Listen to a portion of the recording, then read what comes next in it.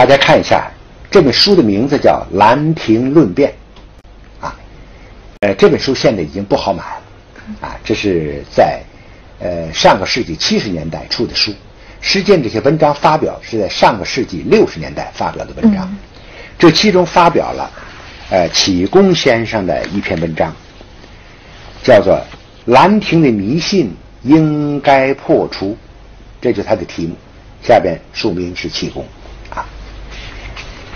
启功先生在论述《兰亭论辩》这个过程当中，提到了《兰亭序》当中这个“咏”字。嗯，他是这样说的，大家看啊，他说《兰亭》第一个字啊是“咏”字，于是有人便把它作为概括一切笔法的咒语，称为“咏”字八法。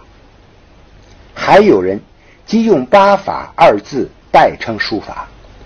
我并不反对利用某个字的各种笔画来说明书法的一些笔势，嗯，但是尽有若干字可用，为什么单找“永”字呢？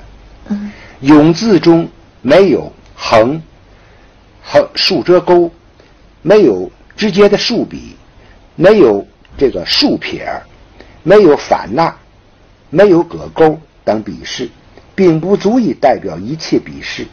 这分明是由《兰亭》第一字来的。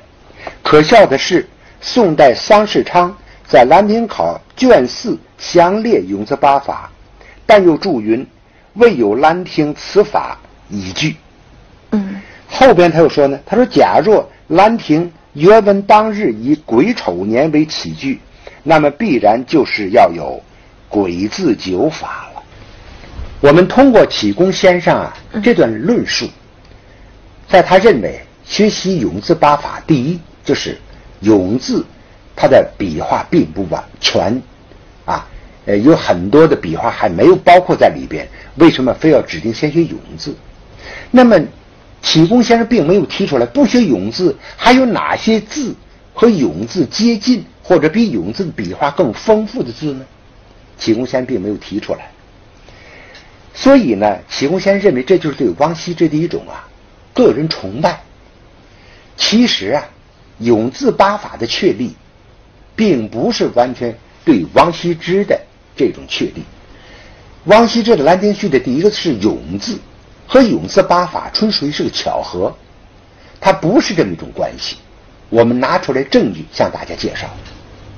我们为什么说永字八法，并不是王羲之的《兰亭序》为最起点？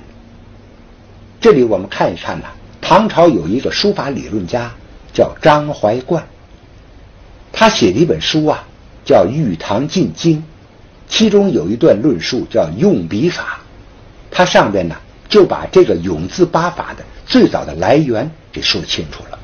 好，我们现在呢为让大家看得清楚，我用笔现在把这段抄录下来，大家看一看。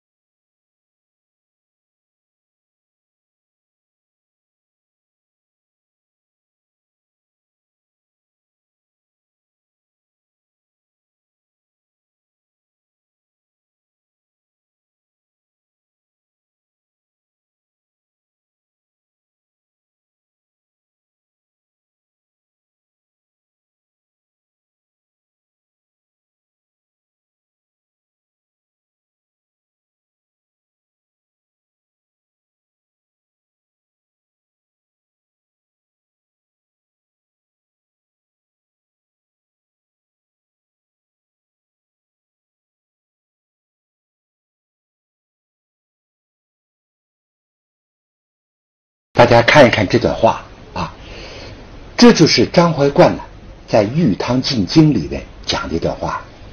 他说：“八法起于隶字之始。”大家注意，这个“隶”字啊，不是指的隶书，是指的楷书而言。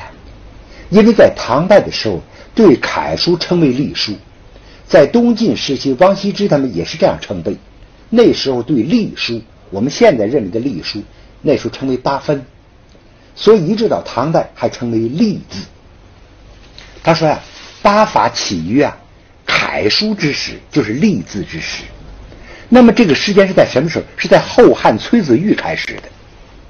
后汉崔子玉就是东汉末年时期的崔子玉。崔子玉立中王，中王是谁呀？是钟繇和王羲之。那就说在王羲之之前，还有崔子玉和钟繇在先。那么在中王以下，注意这个“乙”字啊。这个原文上写的就是已经的已，在古文当中，这个已字和下面这个已字通用，所以我们现在不用这个字，用这个以下的已字。所以我在上面点三点，以表示呢，当初这是讹误。实际上当年这么写并不算错误，我只是把这两个字说清一下。那么就是当年崔子玉在汉代的时候起就有永字八法了，而下传呢，已知把这八体呀。传到王羲之这里来的，所以永字八法并不是从王羲之开始的。那么这里所说的所用八体，就指的是八法，该于万字。他说把永字写好了，对一万个字都有好处，是这么个意思。因此大家就知道启功先生所说的永字八法来源于王羲之的永和九年那个永字，这个观点是不准的。这是一个问题，再有一点就是说，永字八法，这个永字虽然是笔画并不多，它的笔画不多，大家看一下啊，实际上只有点儿、横、竖、勾、挑笔、撇儿、长撇儿、短撇儿，然后这个捺笔，大家注意看，本来。我们按现在的点画来说呀，我们现在通常说的笔画就是一、二、三、四、五，这是我们现在区别于笔画说究竟有几画呢？它总共是五画，而五画当中却包出包括了八个法则，因此“永”字大家看没有重复的地方，点儿、横、竖、勾、挑、撇儿。这是长撇、短撇、长捺，所以总共有这么几个过程，就有几个法则。像这样的字例并不能多见，虽然它没有概括所有的笔法，那么我们可以说，任何一个字都不可能概括所有的笔画的形式，不可能。像“永”字这么简单的几个点画，就能包括这么多的法则在里边，已经是很难找到再和它类比的字。所以说，学习永字八法，第一不像启功先生说的那样，是从《兰亭序》开始的，不是，是在后汉就早已有之的了。啊，崔子玉一直到中王，中王也是后汉年间三国曹操手下的一位尉官。因此，到了王羲这里，王羲之这里已经是一百多年的事情，因为王羲之写这个，呃。《兰亭序》的是公元五百三十五年，呃，五百呃三百五十三年，啊，公元三百五十三年，所以这中间隔了一百多年的时间，所以说，启功先生这个说法是不准的。但是我们必须说清楚了，启功先生在学识方面、在书法方面，都是在当代处于一流的水平，我们对老先生非常的敬重，但是。这些敬重不是盲从的理由，启功先生有问题，我们仍然要提出来。而且我们不仅今天要谈，我们在以后的节目当中要专题的谈论启功先生的书法当中的优点和缺点。啊，这个因为我们呢是要客观的评价一个人水平，我们不存在什么其他的一些个呃个人的一些恩怨在里边，都不存在这问题。何况我跟启功先生素无恩怨，我们要谈的问题尽量是坦率、真诚，而是善意。